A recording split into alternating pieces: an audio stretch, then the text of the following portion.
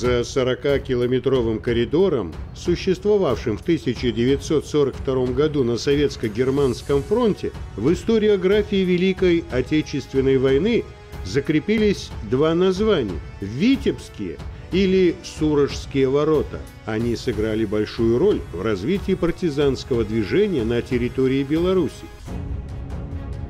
после удачных боев под Москвой э, начинается наступательная операция советской армии, в ходе которой удается сделать, ну, фактически невозможно тот период времени. Благодаря этим успешным действиям происходит сбой между двумя немецкими группами, группой армии «Центр» и группой армии «Север». И как раз-таки на стыке этих двух армий 4-я ударная армия наша делает разрыв и встречается с отрядами Ная Филипповича Шмурева. В истории этот разрыв получит название Витебские или Сурожские ворота. Это 40-километровая брешь, которая связана тыл большую землю. По сути, это дорога жизни, через которую увозили женщин, детей, привозили выполнение на фронт, продукты питания, налаживали связь. Э, через эти ворота входили э, диверсионные группы. Например, через Витебские ворота э, в город Витебск со своей группой вошла Вера Захаровна Оружия, которая сюда направлялась с целью организации подпольного движения. Удержание Сурожских ворот именно с оккупированной территории с этой стороны э, было поручено именно партизанским отрядам под командованием Шмарева. Но, с другой стороны, их поддерживали красноармейцы именно 360-я стрелковая дивизия. Надежно обосновавшись в 40-километровом коридоре фронтовой зоны, партизаны принялись расширять ее в западном направлении. В итоге уже в 1942 году в Витебской области была создана партизанская зона площадью свыше 1600 квадратных километров. Это был остров советской власти в тылу врага. Территория, которая освобождается в районах, где партизане Шмурев, освобождают там 15 сельских советов, устанавливается советская власть, начинают работать колхозы, работают швейные мастерские, оружейные мастерские, работает госпиталь образовывается такой партизанский край, который э, пытается жить привычной до военной жизнью. И отмечу, это всего лишь 42 год. Для организованного отпора врагу на базе действующих в партизанской зоне отрядов была создана первая белорусская партизанская бригада, возглавил которую Минай Шмырев.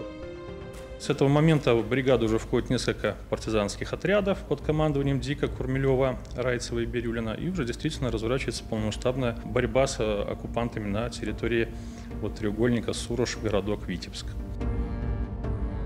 отряд Шмырева, а позже первая белорусская партизанская бригада будут удерживать эти ворота с февраля по сентябрь 1942 года. Численность отряда, позже бригады, колебалась от 300 человек до 2000.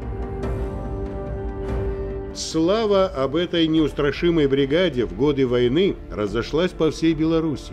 Батька Минай, так называли в годы Великой Отечественной Минай Филипповича Шмырева – на долю легендарного партизанского командира выпало немало страшных испытаний и великих событий. В октябре месяца 1941 года немецкие власти захватили детей Шмырева с его сестрой Анной, и было предложено сдаться в плен Катьке Минаю э, в обмен на жизнь детей.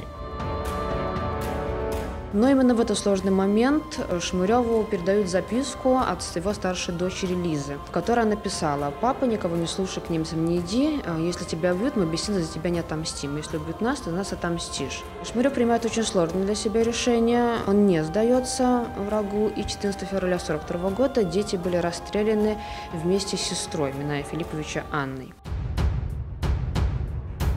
Суровые годы Великой Отечественной войны открыли целую плеяду по-настоящему ярких, сильных личностей, которые, как это не раз бывало в истории, возглавили общенародную борьбу с фашистскими захватчиками.